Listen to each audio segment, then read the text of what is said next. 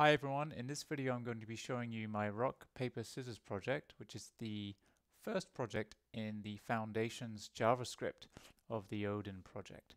Now this one is quite challenging for your first one, uh, but it is a real milestone to reach and I think it can be quite a fun one as well. Uh, so this is the lesson here. There's quite a bit of content to go through and they really do help you set this up. There are two actual lessons on this. So the first time you see it, there will be some a little bit of hand holding to get the basic game loop working. And then in a few lessons time, you will revisit your, your game loop and build out a little more um, functionality in it. For example, keeping game score and having a reset button and ending the game at a certain score. But anyway, let's take a look at mine. So here is my repository for it on GitHub. It's called Jankenpon, which is just Japanese for rock, paper, scissors. Uh, so I have my README file here with some attributes to some of the music and images that I used. And no, you don't need music, but I thought I'd put it in there for fun. Uh, let's let's take a quick look at it.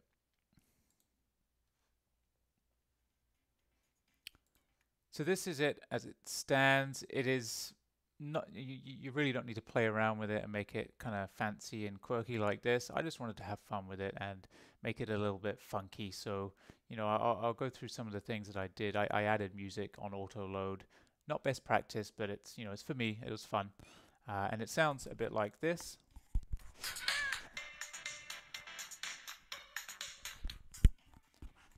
So yeah, it's kind of going with the Miami Nights funky uh, dance-off theme.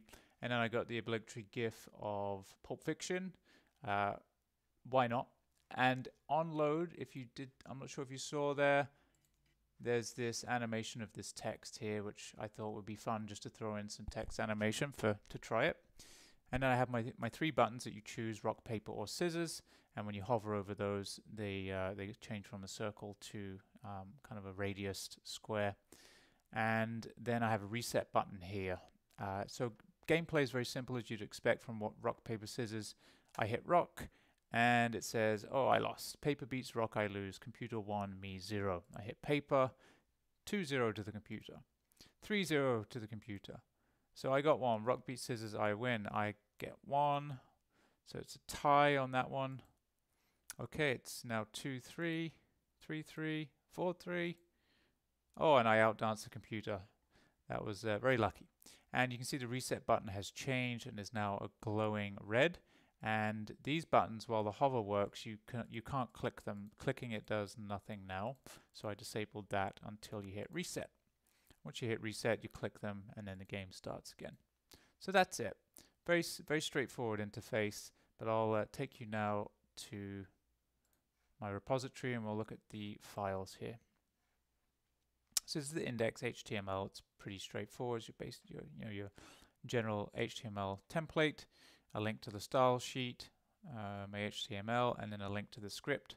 And you put your script tag at the bottom because you want your HTML to load first. You don't want your script trying to run before your HTML uh, DOM, uh, the object model has been built.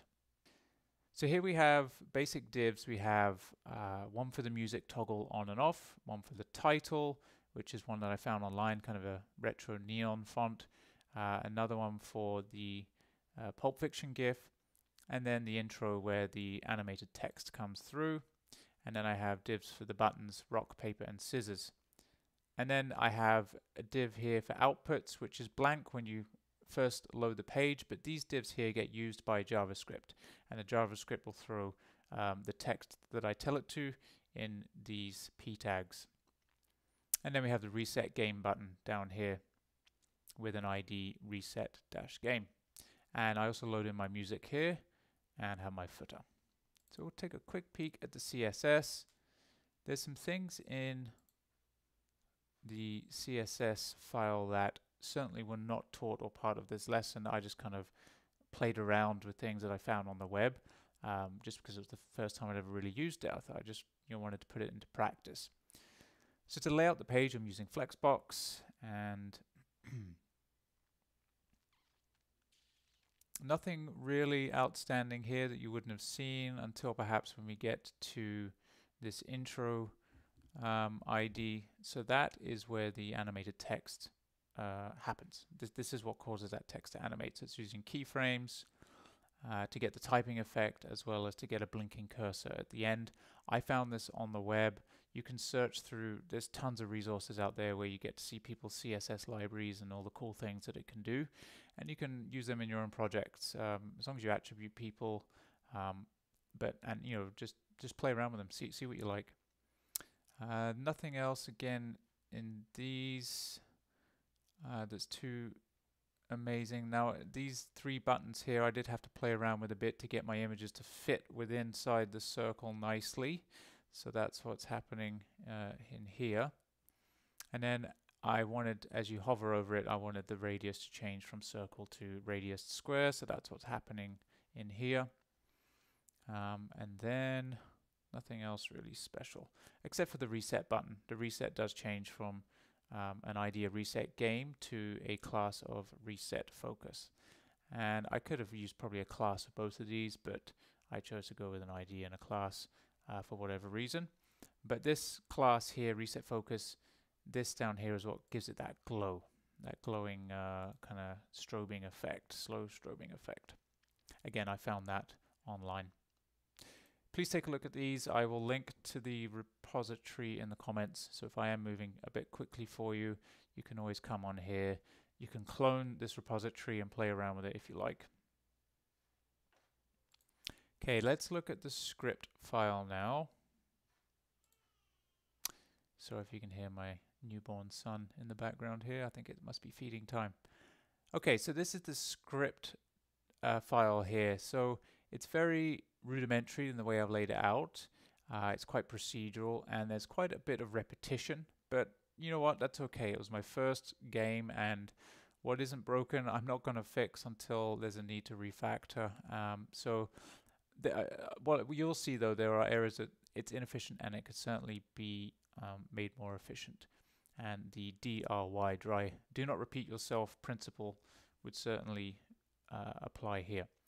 So I start off by setting some variables, player score and computer score to zero. So this, this just tracks the score of the computer and the player. And then I have a, uh, an array with rock, paper or scissors as the selection for the computer. So these are global scope variables that are used in the functions that I will talk about in a minute. And then I declare some more variables. and you could use constant, obviously not for values that are changing, but this could be a constant, for example. But you know, in, in these early days, I was just using let because I could, um, just to keep things simple.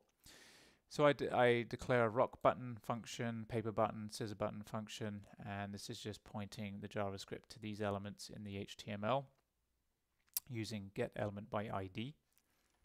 And then a commentary box, which changes to tell you if you won or lost. Uh, you know, paper beats rock, for example. Uh, that's um, defined here. And then the scoreboards computer and player are defined here, and then the reset button. The small reset button during gameplay is defined here. Uh, so on the reset button, I add an event listener. So when it's clicked, it will execute the reset game function. And then the same with the rock buttons, have event listeners for when they're clicked.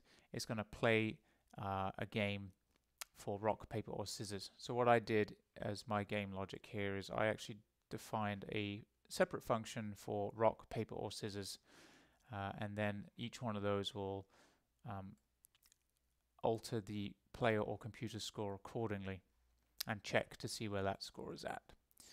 So what I did is I defined the computer selection here, which is a random selection of rock, paper, or scissors from this array using the math floor math random uh, methods in JavaScript.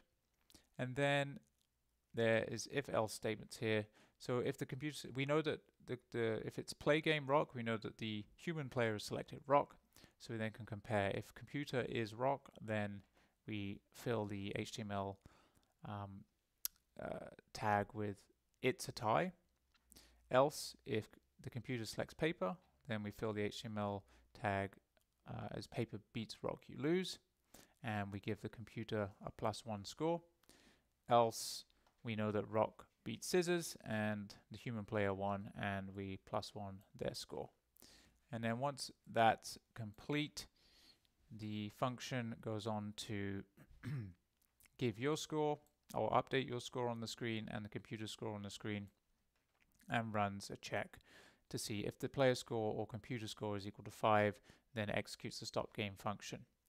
Now, this is a pretty big function, and it could certainly be broken down into, uh, like th th this logic here, I think, to check game um, status could certainly be broken down into another function, but uh, that's something to do for a, a rainy day.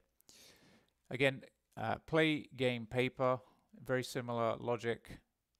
Uh, it's just comparing computer selection to paper and the same for scissors. So those three are pretty much the same and that's repetition. That you know, I think there's probably a far more efficient way to do that than I have done that. Uh, but the challenge here is that the computer selection, you don't know what that is. It could be one of three things, and so could the player's selection. So you're still going to have to do some kind of comparison, um, multiple comparisons, I think. Okay, the stop game function. So once a stop game is executed, because the, the score, one of the scores is equal to 5, it's checking to see if computer score is greater than player score. And if it is, then it says the computer outdanced you in the commentary. Otherwise, it says you outdanced the computer. Then it resets the player and computer scores to zero, as well as the scoreboards telling you what the score is. Uh, and then it removes the click or the event listeners to the rock, paper, and scissors button, so you can't click them anymore, which uh, you don't want to happen when the game has stopped.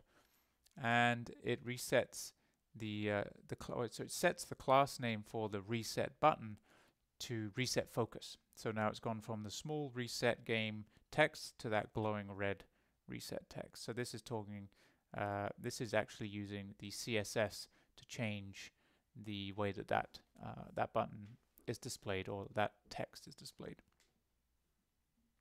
And then the reset game function. Uh, so if you are in the middle of the game and you want to reset it, it sets the scores to zero. It clears the uh, the scoreboard and the commentary. It again removes the event listeners to the button, so you can't click them anymore. Um, oh, sorry. It adds the event listeners to the buttons so that you can begin clicking them again and then uh, the reset class name changes back to the small text, back to the ID. Okay, and then finally we just have some uh, JavaScript here for the music control. Uh, so I let uh, define this variable music to the my music ID in HTML and then the control is the text in the music div and when the control is clicked it executes control music function, which has a ternary here just saying um, if music's paused, play music, else um, execute the music pause function. And I believe these are actually, so this music.play, music.pause are things that are built into JavaScript. I don't have to define these uh, anywhere in this script. And that was something that I, uh, I learned online. Okay, that's it. It's been quick. I'm limited to 15 minutes in these videos, so I have to run through them pretty quickly. But if you do have any questions, please uh, click on the link to this repository in the description and take a look around or leave a comment and I'll be happy to get back to you.